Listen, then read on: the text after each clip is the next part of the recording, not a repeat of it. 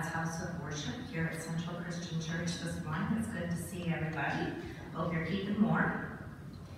Um, I want to remind you to fill out your communication card here as it is provided to you in the bulletin. You can drop it off in the basket just outside of the entryway there as you leave. Announcements, um, what has been brought to my attention is already printed in the bulletin. Um, Pastor Anna did tell me concerning that um, announcement of the grief group that there is quite a bit of interest there. So what we need you to do now is call the church office and share with Robin uh, what dates and times, what would work best for you, and then they'll go ahead and accumulate that data and more news to follow. It's really good this morning as I was sitting back here and I was listening to all of the, private conversations, but listening to the chatter and the laughter and all of that. Um, there's a real fellowship here at Central, and that's good to hear and see and experience every Sunday morning. You know, today's scripture message in Isaiah has to do with a new heaven and a new earth. Um, when I was brought up back in my youth, it was instilled in me that what is revealed in the Old Testament is often revealed in the New Testament. So in the Old Testament of Isaiah, it talks about a new creation, a new day is coming, reinforced in 2 Peter chapter 3, verse 13, reinforces Isaiah that a new day is coming, and it promises a new earth wherein dwells righteousness. Old, revealed, new, fulfilled.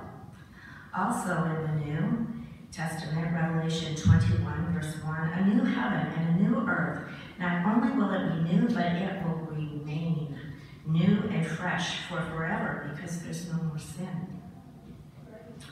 In Isaiah today, 65 verse 24 says that even before we as children of God call on God, God will answer and hear and speak to us. Repeated again in Isaiah 30 verse 19, at the voice of your cry, I will hear you and I will answer you. Comfort that is. In Matthew 6 verse 8, your heavenly Father knows what you need before you ever ask, meaning he knows all things, present, and future. Again, what a comfort. Will you please join with me now to the call to worship as we read responsibly?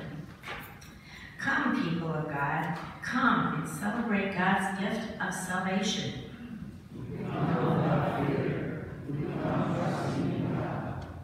Come, people of God, hear God's promises and witness God's mighty deeds.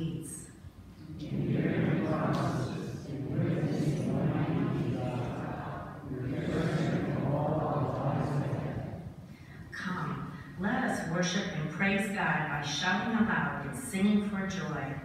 For God truly is in our midst. Amen. Please stand if you are able and join in Chalice Hymnal number 284, Gather Us In, verses 1, 3, and 4.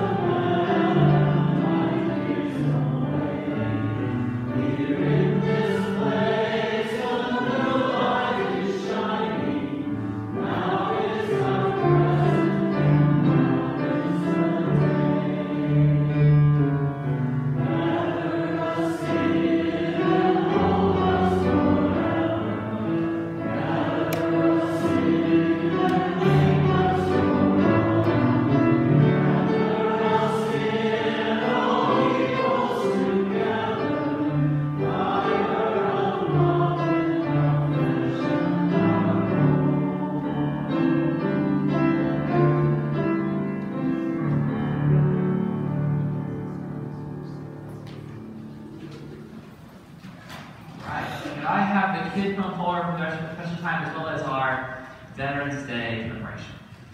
Come up, kids.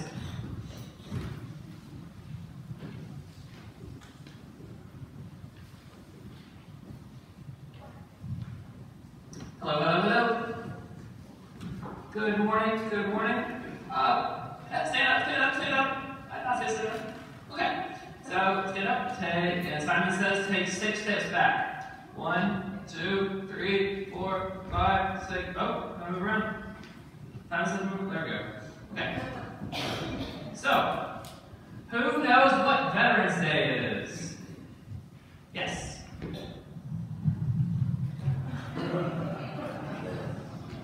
What is Veterans Day?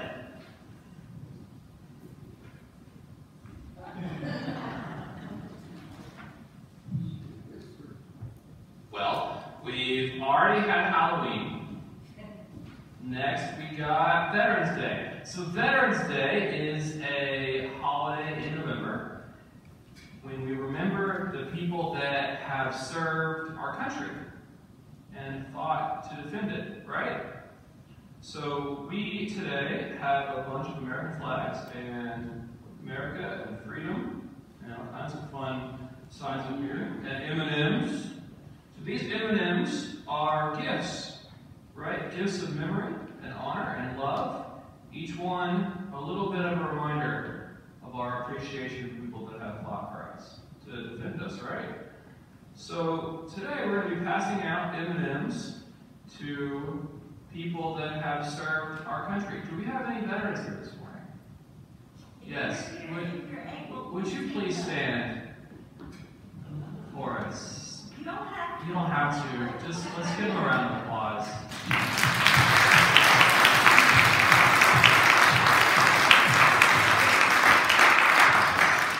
We also have of veterans on the screen that Sharon has come up with. Um, and some of those people couldn't actually be here today, but we have many veterans in our midst at church.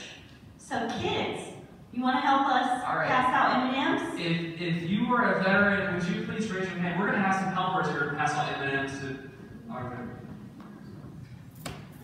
All right. Come, come back back. Or two. Woo. Get one. Okay. Okay. Is that good? Raise your hand, veterans. This way, girls. There's two over here. All right. Raise your hand. We gotta hold you back here for a minute.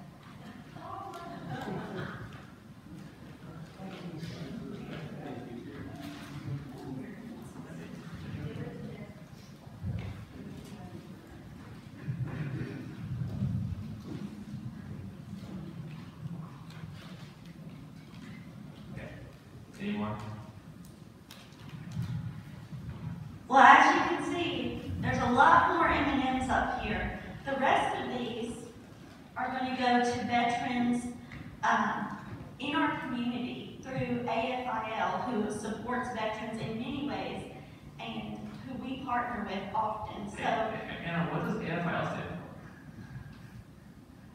for? Americans for Independent Living. Hey! It took me a minute, but I got it. I got it. But now, uh, before you all go to Children's Church and before we continue, I just want to say a prayer for the veterans here, the veterans who are going to receive these M&Ms, and just a prayer of gratitude for all that they've done. Let's pray. Holy God, we thank you for this day, and we thank you for all the veterans out there, all the people who sacrifice so much and who are so brave to fight for this country and be in the service for our freedom, God. And we pray that as they get this little bag of M&Ms, that it'll make them smile and know that they are loved and appreciated and that they are not alone. And God, help us to give them our love and our support and our gratitude for all that they've done for us. In Jesus' name we pray. Amen. Thank you so much, kids. You going to children's Yes, we're going to Children's Church. All right. All right. He's gonna get his little paper. Got little papers. I'm ready. Right. Whoa, whoa, we're trapped. So. Never a go home. You recovered well, I think. And now we've come to a time where we share our joys and concerns.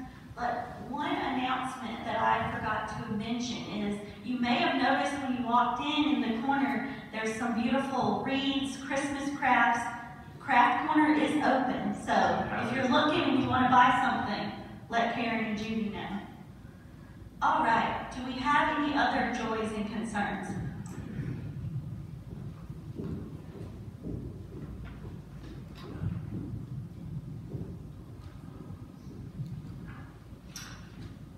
I just want to thank you for all the prayers for Charlie Mills. Um, he was at a VA appointment and he had a heart attack while he was there. Um, they transferred him to Palm Beach Gardens Hospital and they found that when they went in that the stent that they put in right before he left here was totally clogged. And the doctor said nothing had been done wrong. He just had never seen a stent that had clogged up in three months, three months as much as Charlie's had. And so they put in a new stent. They put in another stent ano- another artery. And the doctor made the comment that if he had lots of time, he could do a lot of work on Charlie because he's got a lot of little babies that need stents in them. But he is at home now, and he said he's feeling wonderful right now. Um, he was having so much trouble with loss of breath, and he just couldn't do anything. So we're hoping this time that maybe he'll heed and take care of himself a little bit better. Um, they told him no driving for five days, and Dan talked to his mother last night. And where were they at? The Cracker Barrel eating supper. And I have to believe that Charlie drove because Barb doesn't drive. So, so we know that he's not complying already. So we pray that he's not so stubborn and listens to the doctors maybe a little bit. And I get on him all the time and he just, he just gets angry with me, so, but I keep trying. So, thank you for all your prayers.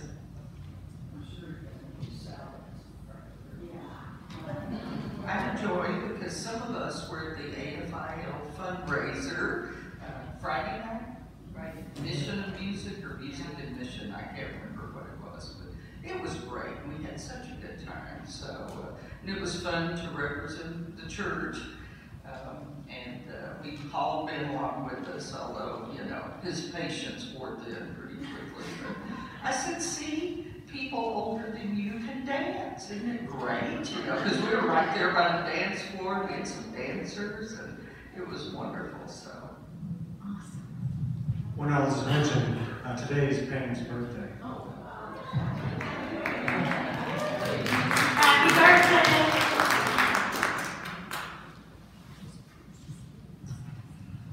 I uh, think some of you at least know uh, and Kevin Rose. They're on our prayer list. I'd just like to tell you that yesterday uh, we celebrated uh, Thanksgiving and Christmas at uh, her uh, grandson's house. She's going to uh, Iowa City sometime next week, and uh, will tell you I don't know a lot about cancer. But she's going down to Iowa City and they're going to do some kind of treatments on her. And she's going to be quarantined from this week, so whenever, whenever she goes down there, till after the first of the year. She's got to stay down there, she's got to stay in, in isolation, and uh, whatever treatments they do for cancer, they're going to perform on her, and she'll be down there. So I just appreciate it if you keep Kelly in your prayers, because I think she's going to need them.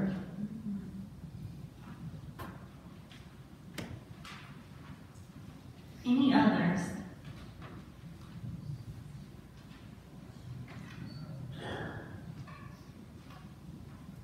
Thank you, Mike.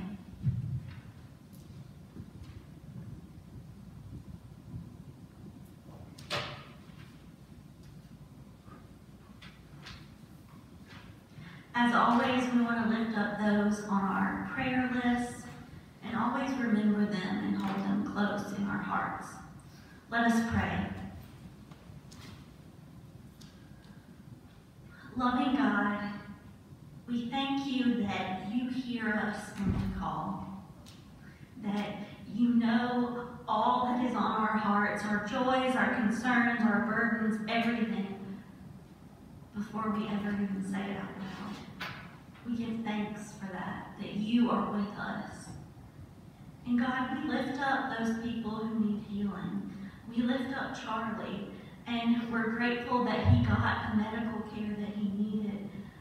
But now we pray that we pray for encouragement and strength to follow the doctor's orders and do what he needs to do to continue to be healthy and live a full life. And we give thanks that the AFIL fundraiser was a hit and was fun and for all the amazing work that they're doing and that we get to be a small part of that. Thank you, God, for AFIL and for everyone who supports them. And God, we thank you for Shelley for her life and her love and we ask you to be with her in this time as she goes through this treatment this week and as she has to be quarantined and isolated. I know that's probably scary for her and nerve wracking. So we ask where there is anxiety that you will bring peace and healing to her and let her know that she's not alone. God, we lift up all those things that we've kept in our hearts, those things that we haven't mentioned out loud, and we give them to you, knowing that you know our needs. And even when we don't have words for our prayers, the Bible assures us that the Spirit prays on our behalf. We give ourselves to you, oh God. Forgive us for those times where we've gotten it wrong, where we've messed up, where we've hurt people, and help us to do better this time. Mold us and make us and help us to be more like Christ. Because we want to, but sometimes it's really hard. Give us patience, forgiveness, mercy, and grace, and help us to share with others, just as Christ has shared it with us. We ask all these things in Jesus' name, who taught us to pray. Our Father, who art in heaven, hallowed be thy name. Thy kingdom come, thy will be done, on earth as it is in heaven. Give us this day our daily bread, and forgive us our sins, as we forgive those who sin against us. And lead us not into temptation, but deliver us from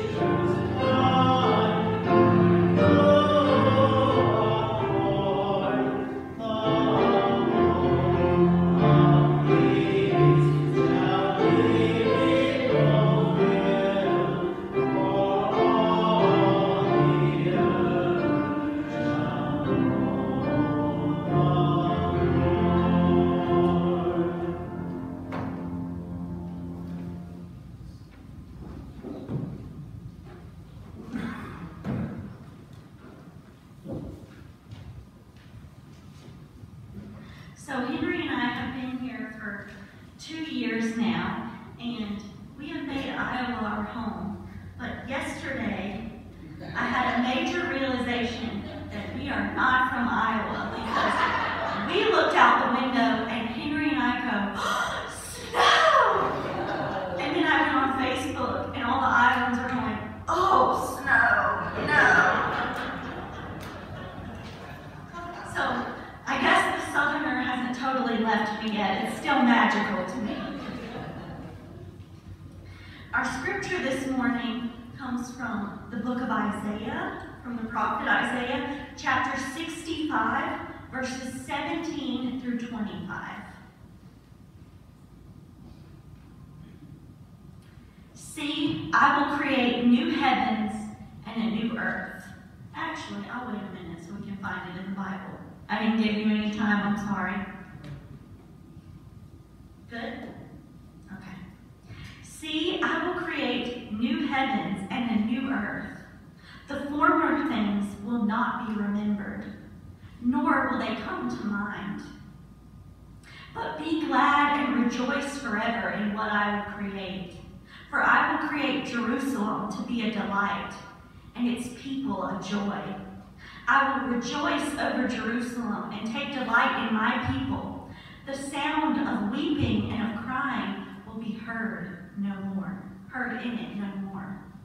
Never again will there be in it an infant who lives but a few days, or an old man who does not live out his years.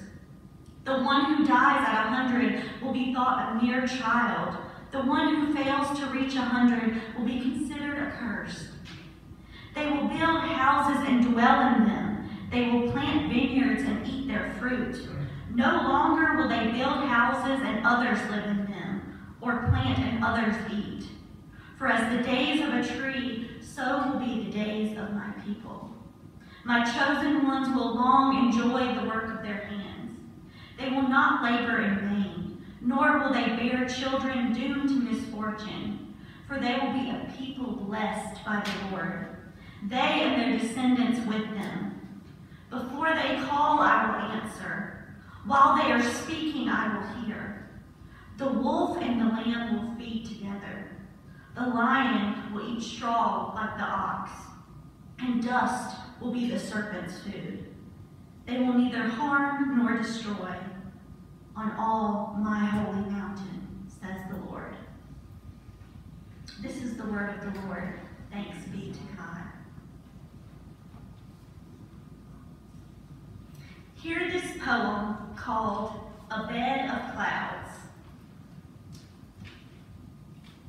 I sleep in the clouds, dream in the sky. I'll keep dreaming as life passes me by. I think my dreams keep me sane. I dream of happiness, a life without pain. Some people say I'm stuck in this place and I'll never go anywhere. But in my dreams, I've already been there. I know someday I'll have to wake up, but I feel the real world is more like a nightmare. I'm safe in my closed eye wonderland. This poem goes to all the dreamers that understand, no matter what they say. Keep your dreams, but don't dream your life away.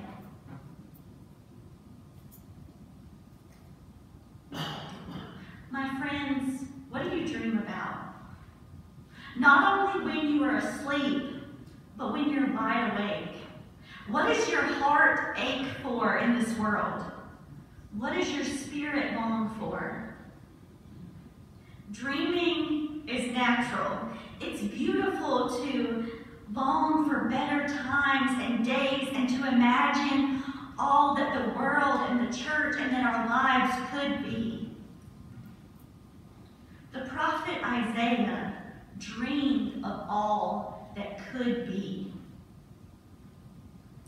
In Isaiah chapters 55 through 66, including our scripture for today, it's thought that these chapters reflect the struggle of those people who remained in Jerusalem and Judah when the leadership of those who were in exile came back to Jerusalem and Judah. So it's a really hard time in their history. Um, our passage for today is probably directed at those remaining in Judah. We have a general idea that conditions were pretty rough for them. They had to deal with invading armies that colonized them.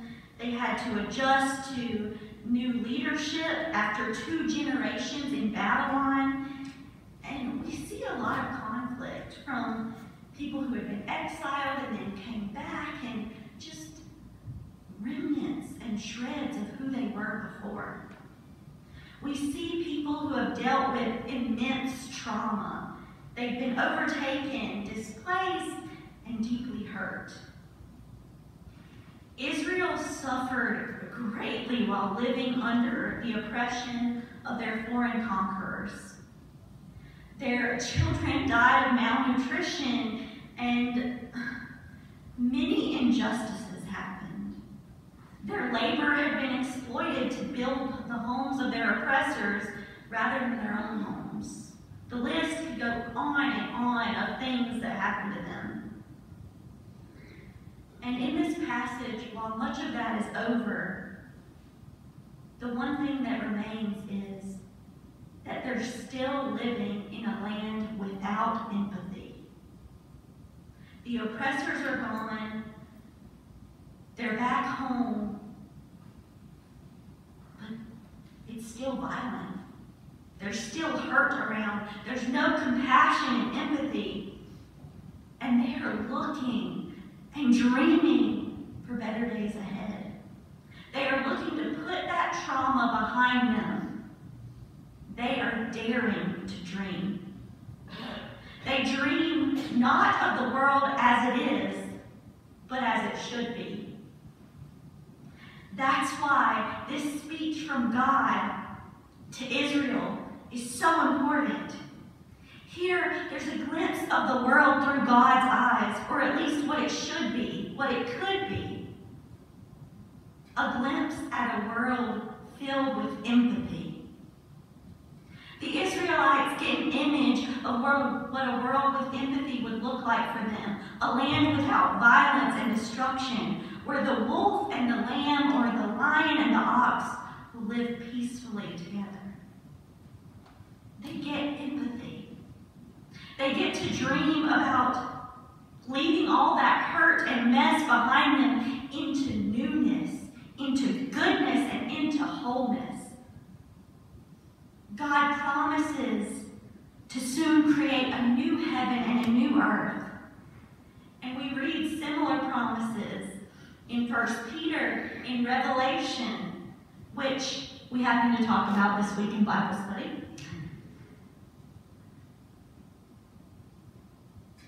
And the new heaven and the new earth, that promise is amazing. But I want us to look at the second half of verse 17. The former things will not be remembered or come to mind.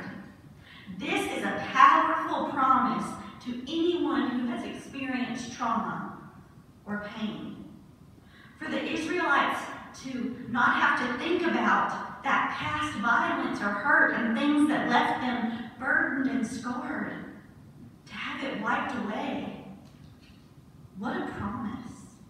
What a hope.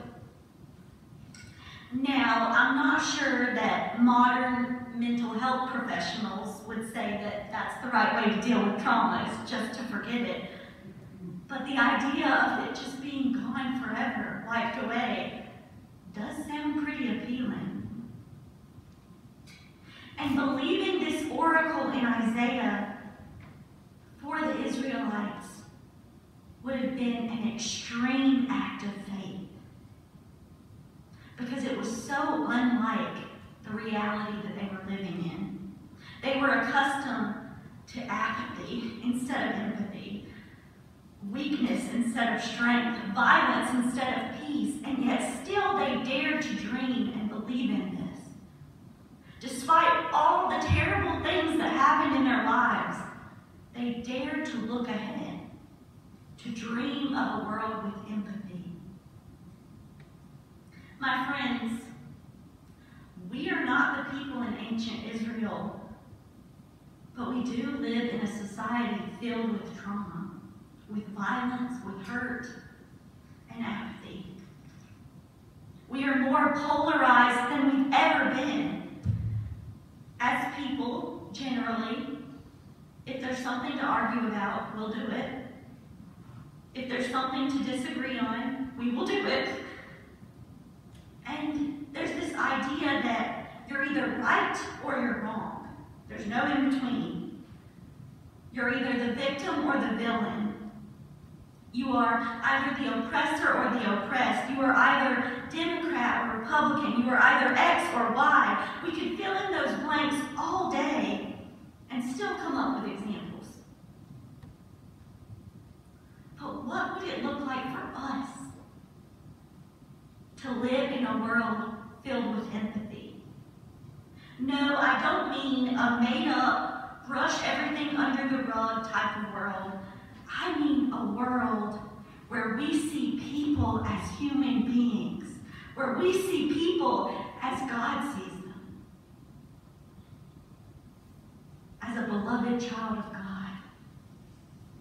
What would it look like if we forgave people even when we thought they didn't? What would it look like to hold a person's hand in their hurt without any conditions? without worrying about what they believe, who they voted for, or how much money they have? What would it look like if people could coexist peacefully without tearing each other down? What would it look like to see people as God sees them? What would it look like to see the world as God sees it? What does that look like, friends? Can you imagine that world with empathy? What does that look like? Think about it. And hold on to those images and dreams. Never stop dreaming and hoping. But let's not stop there. Let's not stop at dreaming. Let's keep going. We are not God, and we know that. And we may never be able to create a perfect world with empathy, but we can sure try. We can try our best. We can make this world that we are in right now be the best it can be. We can see the humanity in others. We can take a step back and try to see every person we encounter as a beloved child of God. Dreaming is step one. Step two is action.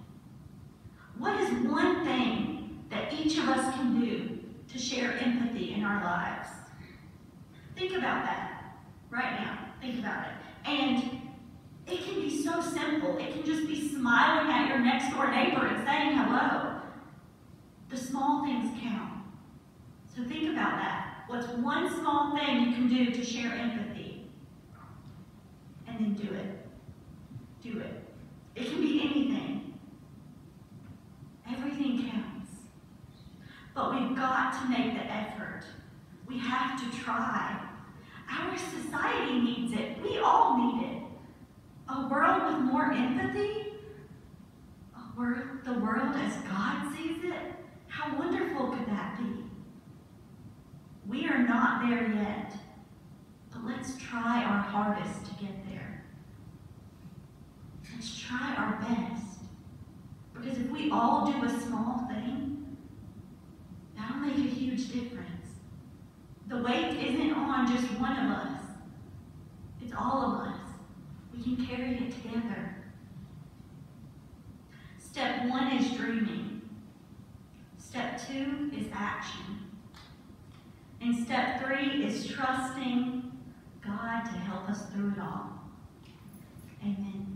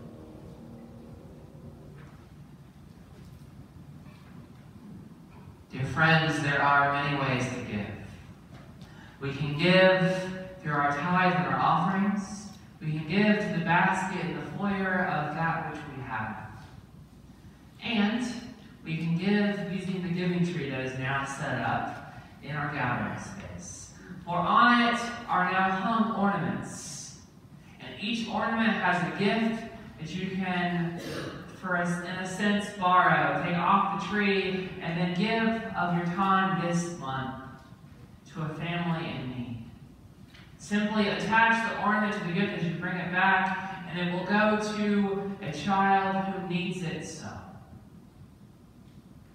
There are many ways to give this month. And many ways in the coming times that will borrow from us. But just help know that however you give, whatever you give, we are so eternally grateful to you always.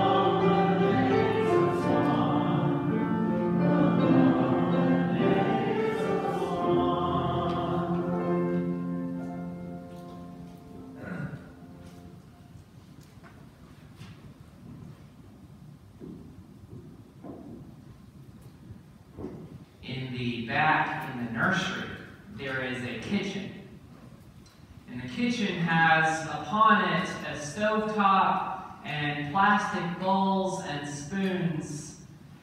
And I tell you, it may never actually turn on, but it has turned on. Because for generation upon generation, that stove has served probably hundreds, thousands of kids scrumptious meals of life and love. It has served tea and crumpets. It has made delicious Thanksgiving dishes, dishes upon dishes of its time. Our imagination is thrilling. It sets us up for a world that is ready for us to step out on faith. What can we imagine today? This table is ready for us. It's here, set and prepared with dishes upon it. And it has your name on it today. Come, taste, see, and know that God is good. On the night when Jesus was to be betrayed, he took a loaf of bread and he broke it, saying, This body is broken for you. Eat of this in remembrance of me. And in the same fashion, he took of wine and he poured it, saying, This cup is poured out as a covenant for your sins. Drink of this in remembrance of me. Every time you eat of this bread and drink of this cup, proclaim my death until I shall come again. Let us. Heavenly Father, we thank you for all the blessings we have received from you and for the blessings yet to come.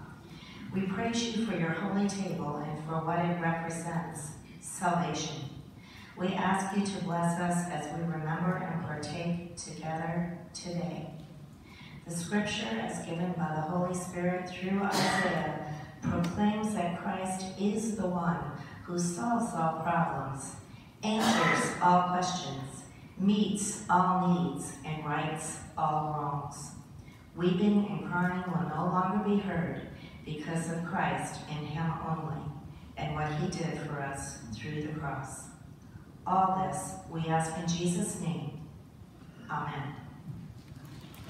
Please remain with us.